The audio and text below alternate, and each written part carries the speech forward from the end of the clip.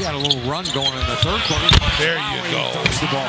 Well, against Arcidiacono, he's going to get whatever he wants on offense. Not a great defensive player. Markkanen out of the timeout.